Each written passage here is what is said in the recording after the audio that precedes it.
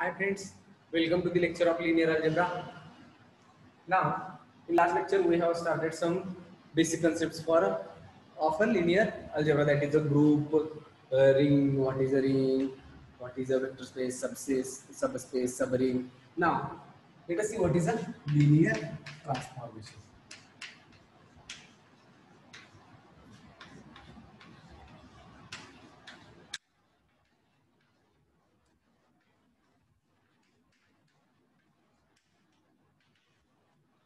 Let V and U be let V and U be two vector spaces. Two vector spaces. Defined over defined over the same field the same field here here. Then a mapping, then a mapping.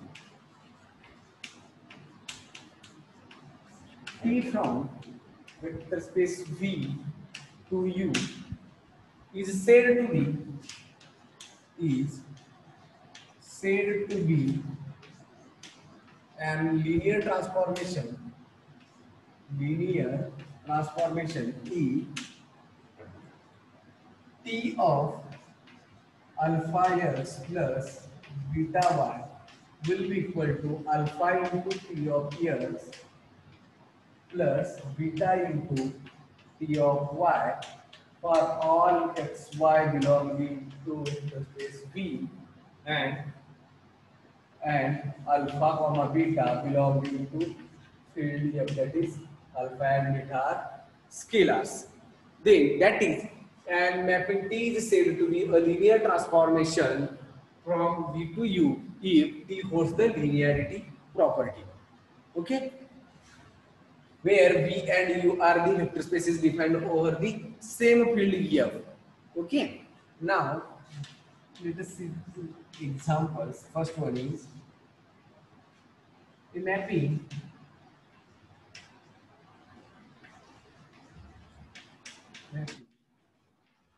P from R3 to R3 defined by defined by T of XYZ will be equal to T of XYZ will be equal to X plus Z X plus Y plus 2Z 2X plus Y plus 3 the linear transformation. So here we check the condition T of alpha x plus beta y, take two elements x and y and two scalars from PDF and check whether T of alpha x plus beta y will be equal to alpha into T of x plus beta into T of y, where x taken as x1, y1, z1, y is y1, y2, y1, y2, whatever maybe the put it in this condition and check whether this one is the satisfied or not. And this one is as it is a homogeneous linear equation so this one is a linear transformation. And second one is a mapping.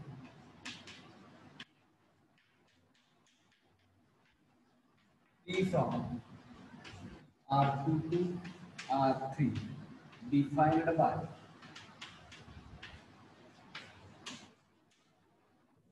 T of x1 comma x2 will be equal to x1 comma x1 plus x2 comma sorry x2 is also a linear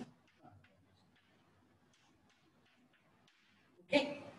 Now the next point is what is the kernel of transformation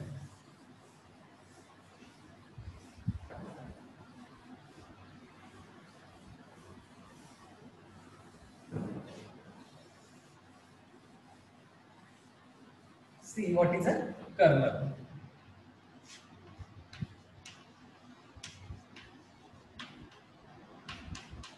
Let T from vector space V to U that is V over here to U over here is a linear transformation, then the kernel of T,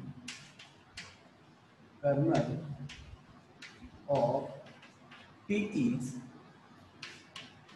that is kernel of transformation T which contains kernel of any transformation is nothing but the it contains all the elements of the domain which maps to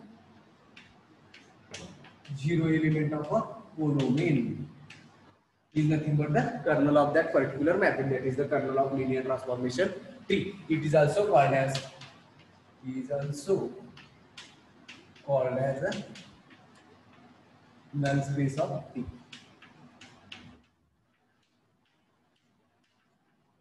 Okay.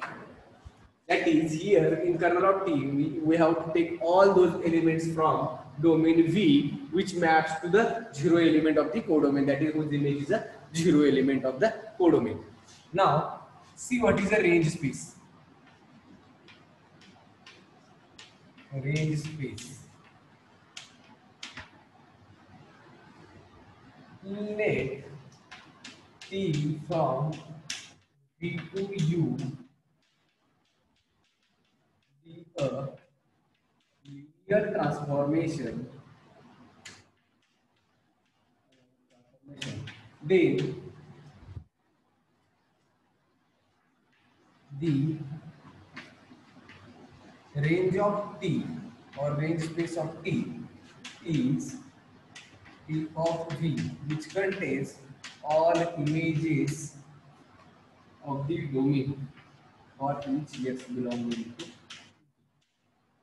okay and now next one is linear dependence and independence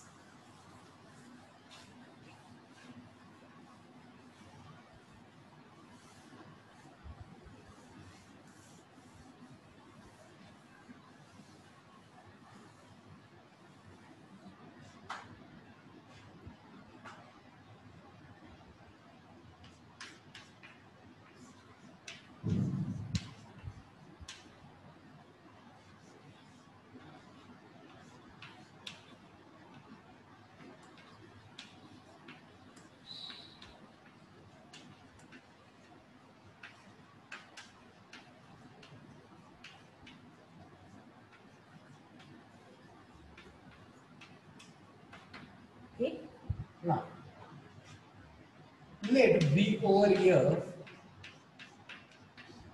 be a vector if V over here to be a vector space then the elements the elements V1 V2 up to so on Vn up to so on V are said to be dependent early. Dependent.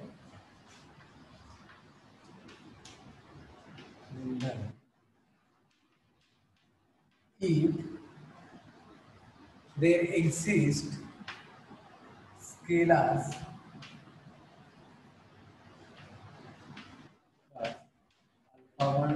alpha 1, alpha 2, up to so on, alpha n, such that, such that if summation i running from 1 to n, alpha i vi will be equal to 0, that is alpha 1 v1 plus alpha 2 v2 plus up to so on, alpha n vn will be equal to 0, which implies at least one alpha i. Then we say that v1 v2 up to so on vn are linearly dependent. Which implies then we say that v1 v2 up to so on vn are linearly dependent Okay, that is if V over V here be a vector space and the elements of the vector space V that is V1, V2 up to so on Vn are said to be linearly independent, sorry, linearly dependent. If they exist n scalars alpha 1, alpha 2, alpha n belonging to field F such that if addition linear combination of these elements summation i running from 1 to n alpha i vi will be equal to 0 which implies at least one alpha i is not equal to 0 that is before going to linear dependence and independence there is one definition which is actually a linear span or linear combination of elements of some particular set. Yes. After that linearly dependent and independent i will define that statement. Let us just let us look, uh, let us take a look on this linear combination. Summation i running from 1 to n alpha i vi equal to 0 is nothing but the linear combination of the elements of vi and the scalars of the field f so if summation i running from 1 to n alpha i vi is equal to 0 then at least one alpha i is not equal to 0 then we say that this these elements v1 to vn are linearly dependent and for linearly independent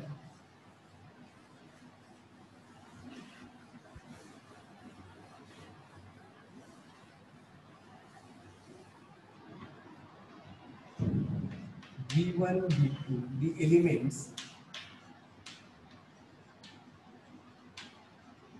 elements V1, V2, so on Vn are said to be linearly independent.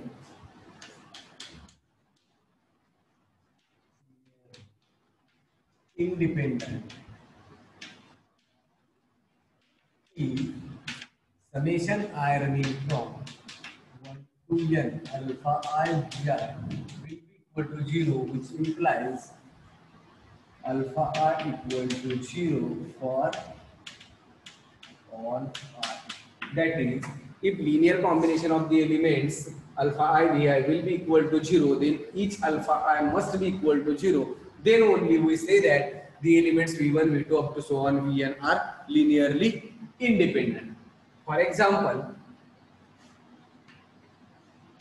a set S which contains elements 1 0 comma 0 1 these are the linearly independent this is the linearly independent set in R2 is linearly independent in R2 since these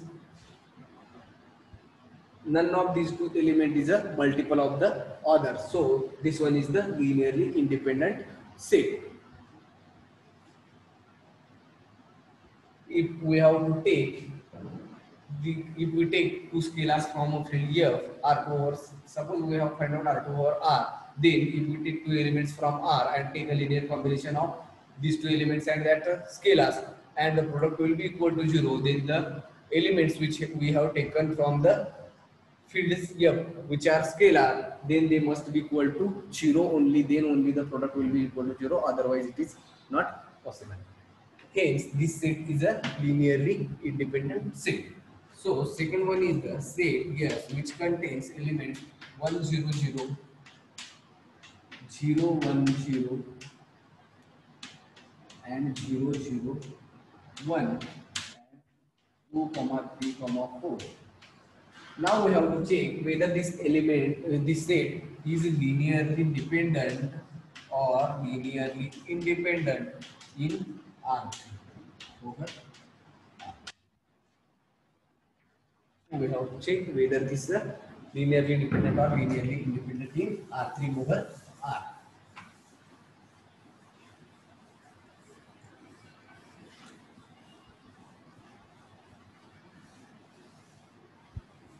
So we have taken state yes, which contains 1 0 0, 0 1 0, and 0 0 1. If one of the element from the set is a multiple of the other elements of the set, then the set is a linearly dependent.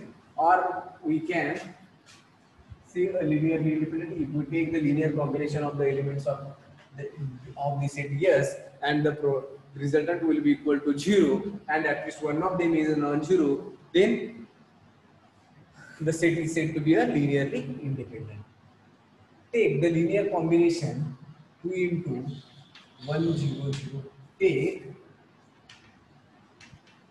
2 3 comma 4 comma 1 belonging to R. Such that 2 into 1 0 0 sorry minus 1 belonging to R plus 3 into 0 1 0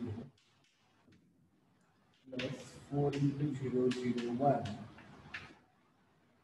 minus 1 into 2 3 4 will be equal to 2 2 plus 0 plus 0 2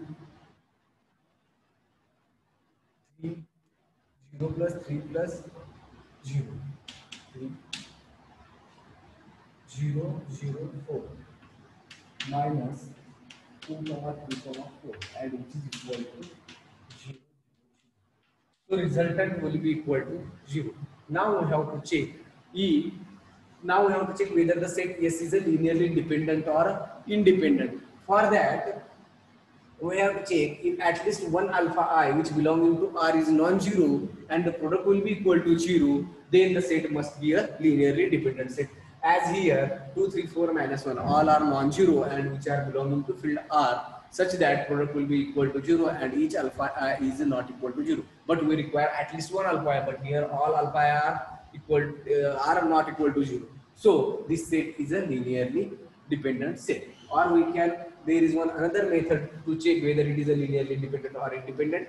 If one of any of the elements from this set is a uh, is a linear combination of other three elements then the set is said to be a linearly dependent.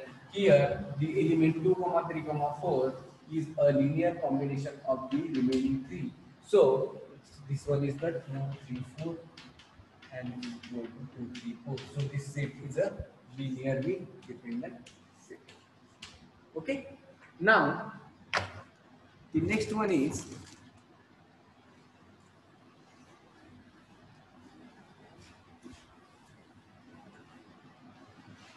what is a linear span?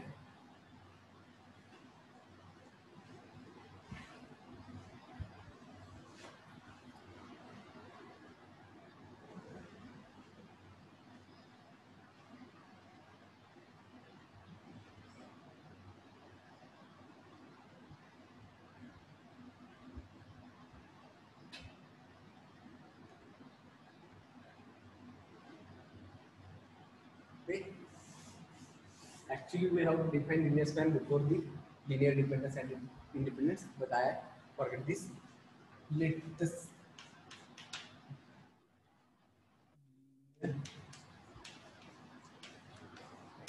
span. Let V over here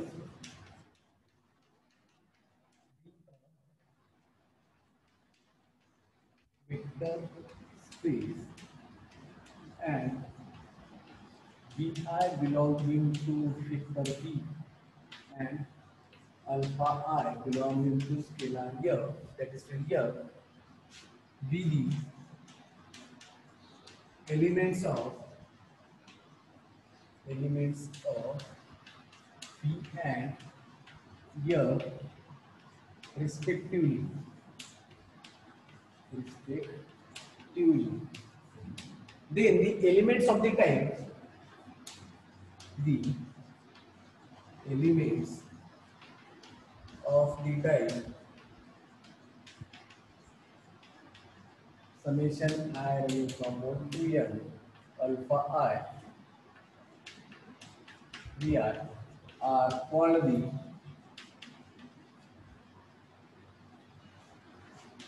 called the linear combination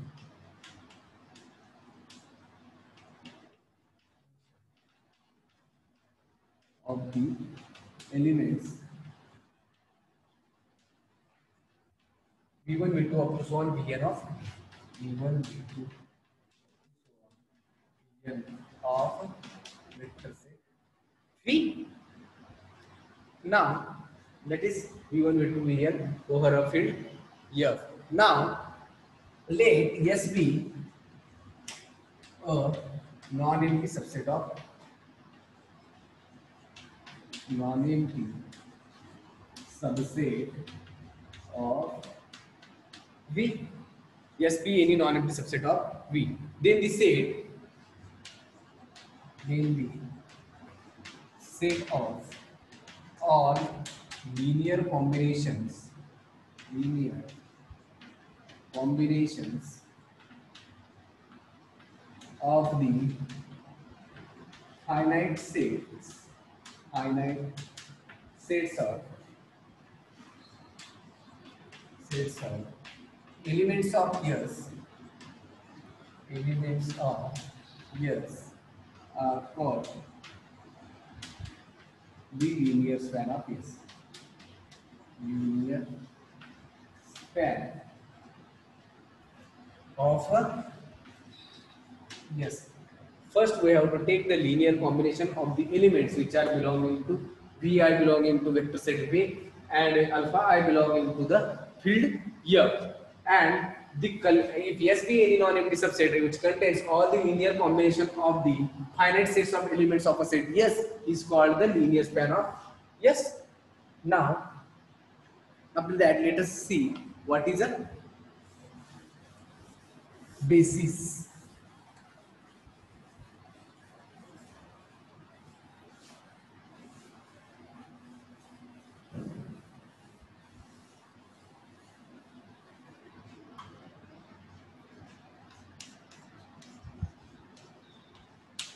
of a vector space.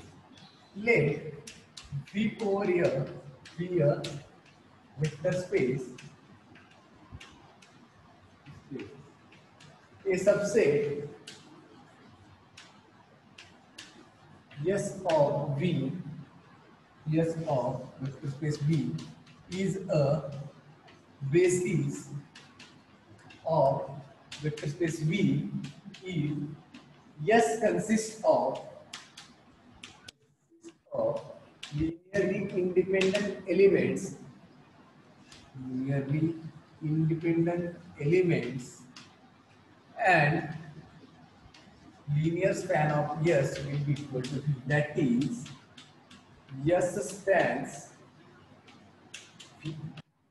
So, any subset yes of a vector space V is said to be a basis for a vector space V over here if yes consists of linearly independent elements and linear span of yes will be equal to V. That is, each element in V is a linear combination of the elements of set yes. That is, if we take any element from a vector space V, then we can express it as a linear combination of the element of yes then we say that the corresponding set yes is a basis for uh, that particular vector space V over F. For example, For example, set yes which is equal to 1 comma 0 comma 0 1 is a is forms a basis for vector space R2 over field R.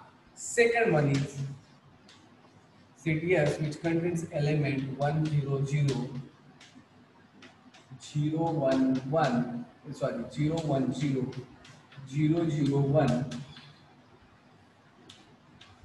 forms basis for R3 over R. Similarly, similarly, CDH which contains element 110, 100 and 011 also forms um, a basis for R3 over R. therefore the vector space R3 over R has two bases. These are the not only two bases, except these two, there are so many bases. That is, Therefore, the vector space R3 over R has at least two from these two, at least two bases. From this, we can we can conclude that the vector space may have more than one basis since the, the set S and T both are the basis for a vector space R3 over R. So, from this, we conclude that vector, a vector space vector space may have more than one basis. Okay. Now, there are some important results on linear transformation.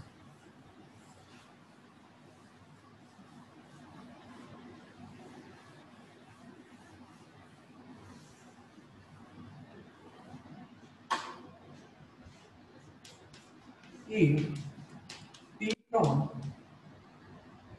that is a linear transformation a linear transformation T from V to is 1 1 if and only if is to if there is one linear transformation which is defined from vector space V to itself. That is it is a linear transformation from V to V itself. Then it is one one if and only if T is on. To that is suppose it linear transformation T from V to V is one one. That is each element in V has a unique image in V. This is a from function. That is from the one one each image of element in V has a distinct image in V. So, and the dimension of uh, domain and codomain is same and T is a 1 1. As it is 1 1, then obviously it is onto. For onto, we have to check the range of linear transformation T is whether it is equal to V or not. As it is 1 1, then each image has a distinct, uh, sorry, each element has a distinct image. So, there uh, so it is not possible that the any two elements in domain have a same image in B. So each image, each element have a distinct images. So as it is one one, then it is it must be a onto. Next one.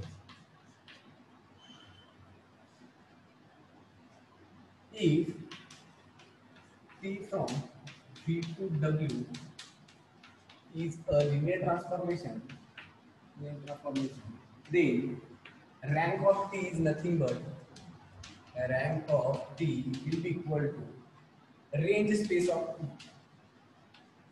Range space of T. And nullity of T nullity of T will be equal to kernel of T or null space of T. Sorry, rank of T is nothing but dimension of range space of T.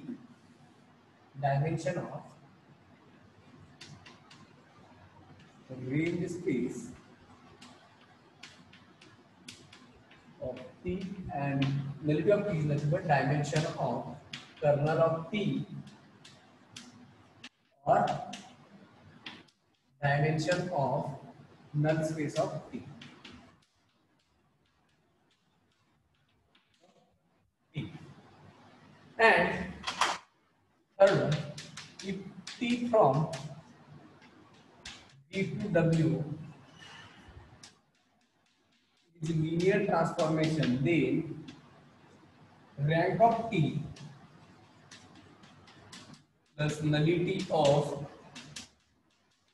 T will be equal to dimension of your domain V, which is nothing but the rank nullity theorem or Sylvester's law. If T from V to W is a linear transformation where V and W are two vector spaces, then rank of a linear transformation T plus nullity of linear transformation T will be equal to dimension of the domain V.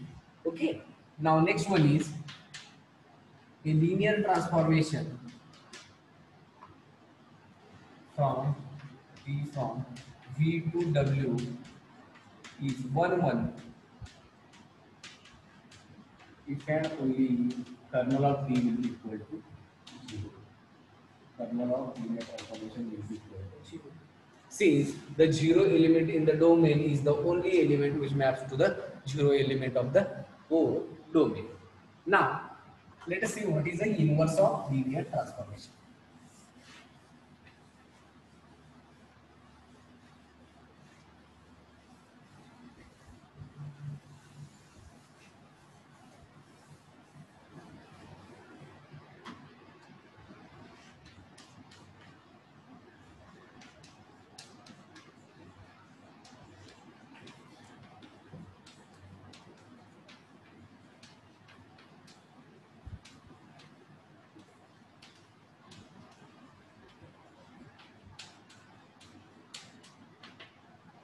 Inverse of linear transformation.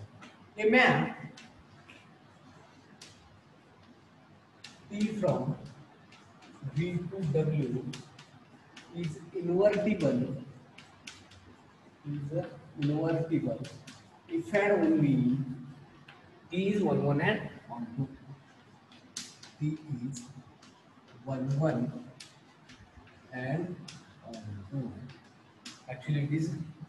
known for that is a map any map from T any map T from V to W is an invertible map. That is inverse of that linear transformation T exists if T is 1 1 and onto and the inverse map is defined by the inverse map. Defined from defined from that is T from W to by E inverse of y will be equal to x if and only E of so inverse of any linear transformation T will be exist if and only if it is on one and onto. Okay. Thank you for watching the lecture.